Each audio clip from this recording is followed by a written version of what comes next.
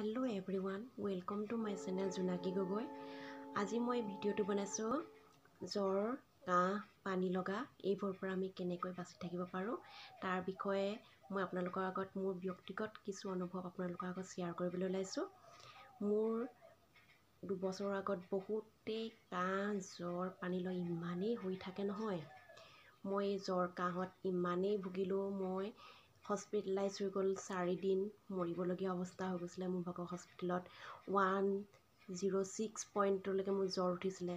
সেই জ্বৰ ইমানেই বেছি হৈছিলে মই ভাবিছিলোঁ চাগে মোৰ চাগে টাইফইডেই হৈছিলে বা মই মৰিমেই চাগে মই জীয়াই নাথাকিম তেনেদৰে ভাবিছিলোঁ। হস্পিটেলত মই সেইদৰে থাকি পিনি মোৰ ডক্টৰৰ ট্ৰিটমেণ্ট কৰাৰ পিছত মোৰ ভাল হ'ল বেমাৰ বেমাৰ ভাল হোৱাৰ পিছত মই ঘৰলৈ আহিলোঁ। ঘৰলৈ আহি মই নিজে ভাবিবলৈ ধৰিলোঁ মই নিজৰ স্বাস্থ্যটো কেনেকৈ ভালদৰে ৰাখোঁ। সেইবাবে মই কিছুমান টিপছ মানে আপোনালোকৰ আগত ক'বলৈ ওলাইছোঁ।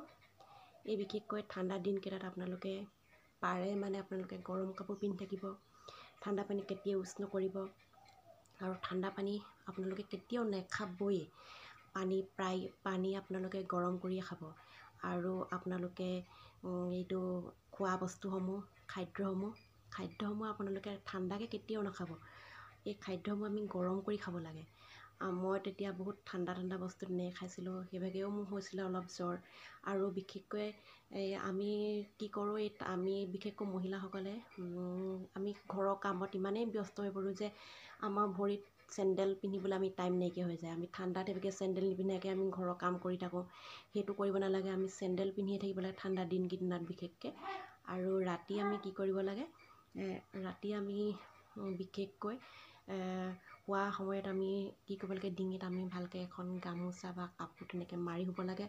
তেতিয়া শুলেও আমি মানে ঠাণ্ডাটো বহুতেই নোসোমায় বুলি ক'ব লাগিব।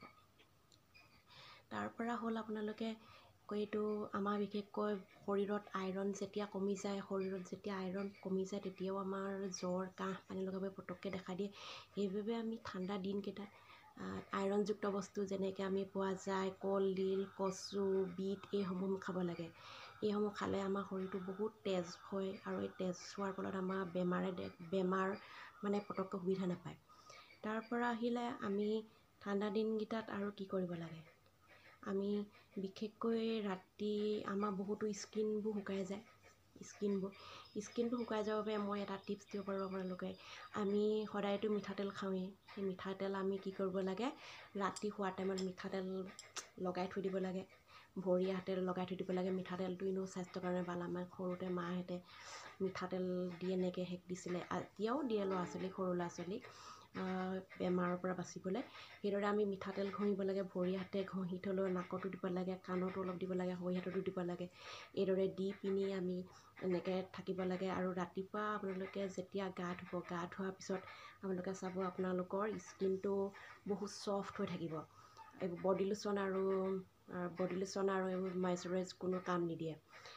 তাৰপৰা আহিলে আমি বিশেষকৈ ঠাণ্ডা দিনকেইটা আমি ঠাণ্ডা পানীয়ে কেতিয়াও গা ধুব নালাগে। গা ধুলে ঠাণ্ডা পানী গা ধুলে আমাৰ শৰীৰটো ইমানেই কোমল যে আমাৰ ঠাণ্ডা পানী ইউজ কৰাৰ লগে লগে শৰীৰটো বহুত পটককৈ বেমাৰ হৈ যায়। সেইবাবে আমি পাৰে মানে আমি গৰম পানী ইউজ কৰি গা ধুব লাগে। এই গৰম পানী ইউজ কৰি গা ধুলে আপোনাৰ গাটো বহুতেই ভালে থাকে। বহুতেই। মোক মই নিজৰ ব্যক্তিগত অনুভৱৰ পৰা কৈছোঁ যে মোৰ এই দুবছৰ দিন কাহ আৰু পানী লগা আজিলৈকে হোৱা নাই। সেইকাৰণে কৈছোঁ আপোনালোকে সময় অলপ খৰচ কৰি হ'লেও আপোনালোকে পানী গৰম কৰিয়েই গা ধুব।